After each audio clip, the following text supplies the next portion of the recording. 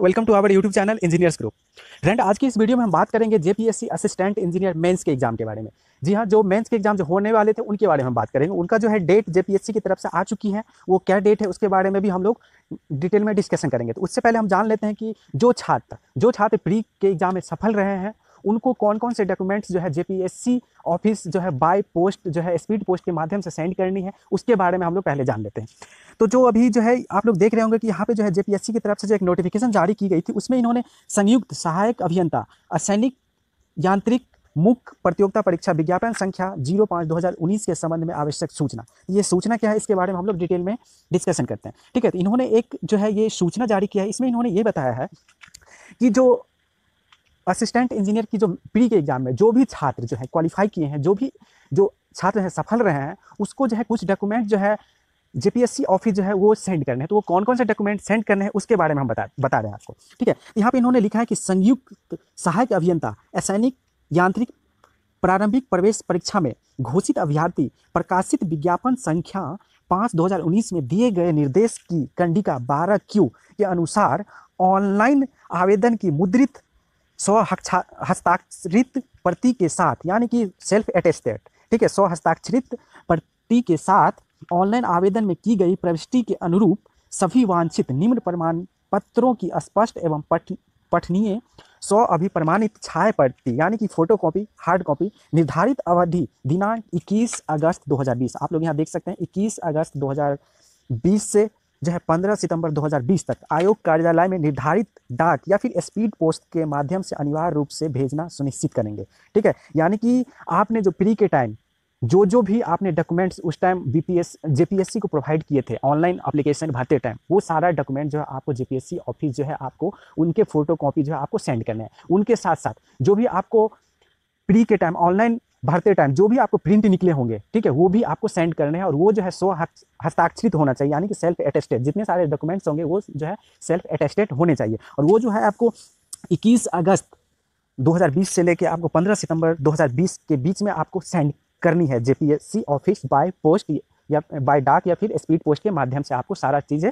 जो है पोस्ट करनी है। तो देखते हैं कौन कौन सी चीज़ें आपको पोस्ट करनी है जेपीएससी ऑफ़िस तो सबसे पहले तो वो जो आप ऑनलाइन जो कर रहे हैं उस टाइम आवेदन की मुद्रित स्व हस्ताक्षरित प्रति, ठीक है, उसके साथ साथ आपको और क्या चीज़ सेंड करनी है, वो करनी है आपको जन्म तिथि के लिए मैट्रिक या फिर दसवीं की उत्तीर्ण प्रमाण पत्र या फिर अंक प्रमाण पत्र जो भी आपके पास अवेलेबल है, वो आप जो है सेंड कर सकते हैं। दूसरा डॉक्यूमेंट जो आपको सेंड करना है, वो है इंटरमीडिएट या फिर टेन प्लस टू का जो है प्रमाण पत्र ये आपको सेंड करना है। तीसरा डॉक्यूमेंट जो आपको सेंड करना है, वो है आपने बी या बी बी ए बी जो भी आपने की है, उनकी जो है डिग्री या फिर मार्कशीट जो फाइनल मार्कशीट होंगे, वो आपको सेंड करने हैं यहाँ पे। इसके अलावा जो जो है झारखंड से बिलोंग करते हैं, जो भी छात्र जो है झारखंड से बिलोंग करते हैं, उनके लिए जो है जो भी जाति प्रमाण पत्र हैं, ठीक है? यानी कि जो भी जाति से बिलोंग करते हैं, ठीक है, उनके लिए वो सर्टिफिकेट उनको जो है प्रोवाइड करा, वो जो है आपको होगी। जो भी है झारखंड के अनुसूचित वर्ग, वन एवं पिछड़ा वर्ग, टू कोटि के अभ्यर्थियों हैं। तो जो भी झारखंड से अलावे ई डब्ल्यू एस का विहित पपत्र में सक्षम स्तर से निर, निर्गत प्रमाण पत्र यानी कि इकोनॉमिकल वीकर सेक्शन वाला जो है उनको भी जो है जो भी इकोनॉमिकल वीकर सेक्शन के लिए प्री के टाइम जो उन्होंने फॉर्म फिलअप किया था कि हम इकोनॉमिकल वीकर सेक्शन से बिलोंग करते हैं तो उनको ये सर्टिफिकेट जो है सेंड करनी होगी। ठीक है? इनके अलावे जो है आपको सक्षम पदाधिकारी द्वारा पूर्ण सूचनाओं सहित विहित पपत्र में निर्गत यानी कि जो भी मतलब शुल्क के लिए जो अभ्यर्थी बोले थे उनको भी ये जो है सर्टिफिकेट जो है आपको जमा करना होगा। निशक्त अभ्यर्थियों को परीक्षा शुल्क में छूट तथा निशक्ता दावा हेतु, जो भी दावा किए थे उनको ये जो है प्रमाण पत्र आपको जमा करने होंगे। ठीक है, इसके अलावा जो आपको सेंड करने हैं वो है, भूतपूर्व सैनिक प्रमाण पत्र ठीक है, जिन्होंने भी ये दावा किया था कि हम भूतपूर्व सैनिक के नाती या पोते हैं, जो भी हैं, ठीक है तो उनके लिए ये सर्टिफिकेट उनको जमा करना होगा। इनके अलावा जो आपको जमा करना है, वो करना है अनापति प्रमाण पत्र जहाँ लागू हो। वो आपको जमा करना है। इसके अलावा खेलकूद प्रमाण पत्र जहाँ लागू हो। ये सारे डॉक्यूमेंट्स आपको जो है इनके फोटोकॉपी जो है सेल्फ अटेस्टेड है ना? यानी कि स्व हस्ताक्षरित जो है फोटोकॉपी आपको मतलब खुद से अटेस्टेड करके वो आपको जो है बाय पोस्ट स्पीड पोस्ट के माध्यम से आपको 21 अगस्त 2020 से लेके 15 सितंबर 2020 से तक आपको सेंड करनी है, ठीक है?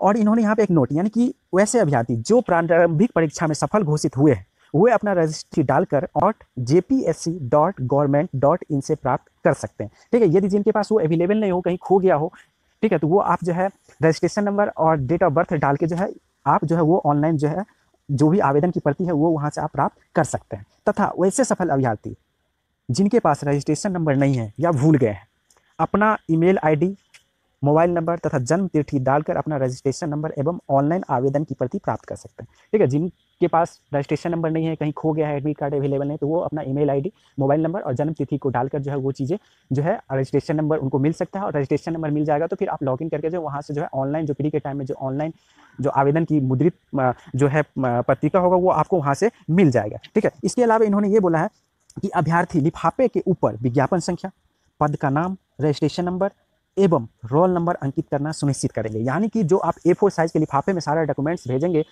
बाई पोस्ट तो उसके ऊपर सबसे पहले आपको जो है, विज्ञापन संख्या। विज्ञापन संख्या में हो जाएगा आपको ये पाँच दो हज़ार उन्नीस जो है। विज्ञापन संख्या ये हो गया। पद का नाम, आप किस पद के लिए, यानी कि असिस्टेंट इंजीनियर सिविल के लिए या फिर असिस्टेंट इंजीनियर मैकेनिकल के लिए आप जो है फॉर्म फिलअप किया था। तो उनमें से जो भी आपके होंगे, वो चीज़ आप फिलअप कर देंगे। इनके अलावा रजिस्ट्रेशन नंबर वहाँ पर डालना होगा एवं रोल नंबर जो आपको रोल नंबर है, ये चीज़ें आपको जो है, उस पर मैंसन करना होगा लिफाफे के ऊपर। ठीक है? इसके अलावा इन्होंने एक चीज़ बोला है कि ऑनलाइन आवेदन की प्रति सहित अभिलेख प्राप्ति की अंतिम तिथि 15 नौ 2020 के पश्चात प्राप्त आवेदन, अभिलेख स्वीकार नहीं किए जाएँगे। जिन उम्मीदवारों से निर्धारित तिथि तक आवेदन की प्रति सहित अभिलेख प्राप्त नहीं होगा, उनकी मुख्य परीक्षा हेतु उम्मीदवारी निरस्त कर दी जाएगी एवं इसके लिए वे स्वयं जिम्मेदार होंगे। यानी कि आप इस जो भी उन्होंने डेट दिया है 21 अगस्त से लेकर 15 सितंबर से पहले पहले आपको जो है, ये सारी डॉक्यूमेंट्स जो है उनको सेंड कर देनी है।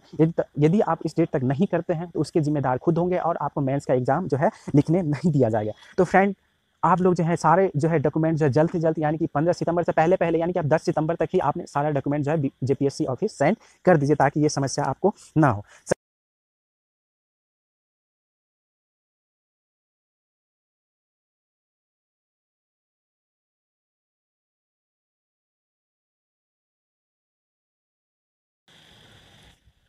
अब हम बात कर लेते हैं एग्ज़ाम डेट्स की।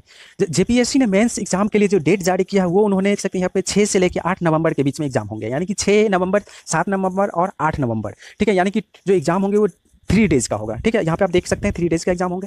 पहला डेज़ फ़र्स्ट डेज़ में जो आपके होंगे, वो होंगे जनरल एबिलिटी का पेपर जनरल एबिलिटी में जो है आपको कम्बिनेशन ऑफ़ टू सब्जेक्ट मिलने वाले हैं। पहला जो मिलने वाले हैं, वो है आपको जनरल स्टडीज़ और जो है जनरल इंग्लिश जनरल स्टडीज़ और जनरल इंग्लिश का कम्बिनेशन आपको जनरल एबिलिटी के अंदर मिलेंगे, ठीक है? जो कि पहला दिन एग्ज़ाम होगा। दूसरा दिन जो एग्ज़ाम होगा, वो होगा आपको सिविल इंजीनियरिंग पेपर वन का होगा, ठीक है? और जो तीसरा दिन एग्ज़ाम होगा, वो होगा आपको सिविल इंजीनियरिंग पेपर टू का। तो फ्रेंड आप लोग से जितनी सारी इन्फॉर्मेशन हमने प्रोवाइड की, आपके लिए हेल्पफुल रहेंगे। यदि आप हमारे चैनल पर नए हैं तो चैनल को शेयर और सब्सक्राइब ज़रूर कीजिए और बेल आइकन को प्रेस कर लीजिए ताकि जेपीएससी असिस्टेंट इंजीनियर से रिलेटेड हर वो इन्फॉर्मेशन आप तक पहुँच पाए। फ्रेंड अभी टाइम कम बचे हैं और जो सिलेबस है, वो काफ़ी लेंदी है। तो आपके प्रिपरेशन को आसान बनाने के लिए हम लोगों ने एक क्रैश कोर्स लॉन्च करेंगे, ठीक है? तो क्रैश कोर्स जो है, आपके रिस्पांस के ऊपर डिपेंड करता है कि आप लोगों का रिस्पांस रहा तो हम लोग इसको जल्द ही लॉन्च करने वाले हैं, जो कि कंप्लीट जो है आपको ऑब्जेक्टिव प्लस सब्जेक्टिव का कंप्लीट सिलेबस हम लोग जो है कवर करवाएँगे। ठीक है? जो भी इंपॉर्टेंट टॉपिक है, उनके बारे में हम लोग डिटेल में कवर करवाएँगे। तो आप लोग चैनल को शेयर और सब्सक्राइब कीजिए ताकि हम लोग ये जो क्रैश कोर्स है, वो जल्दी लॉन्च करें। ठीक है? तो आई होप ये जानकारी आप लोगों की हेल्पफुल रही होगी। सो आज के वीडियो में इतना ही। Thank you so much